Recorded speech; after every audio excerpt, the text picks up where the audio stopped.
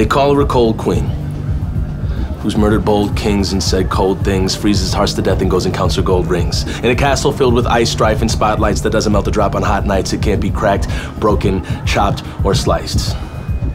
And then she cracks grins as she clutches her wand tight to cast spells upon herself that turn her heart into solid rock ice. On a college campus, eking out enough space for her to fall into three social categories prude, slut, or bitch. She doesn't comply with this, so they call her a cold queen.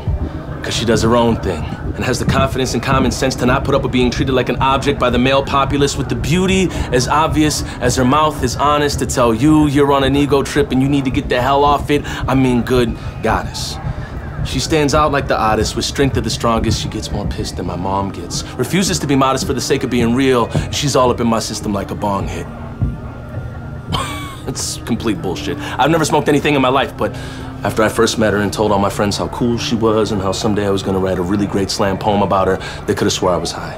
My eyes soaked with courage pouring from her presence, saturated to this day, which is why I still address this message in honor of such a bold woman who can even defy the sun when it gets jealous and calls upon a tempest in efforts to wash away her bright, captivating, cloudless complexion.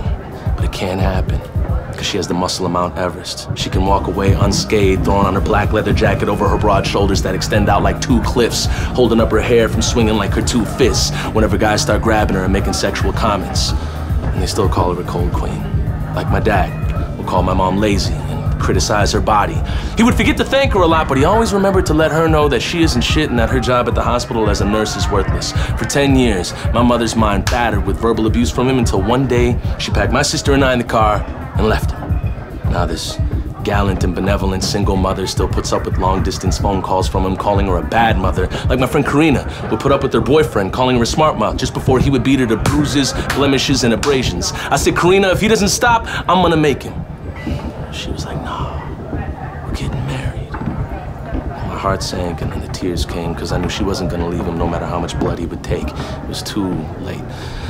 Like for a friend of mine who woke up one Sunday morning to find out she had been raped, so shocked she couldn't enunciate. Hate to say of late, I've been losing faith. I can't figure out if this poem is bullshit male guilt or me trying to tell this queen that I care and pray.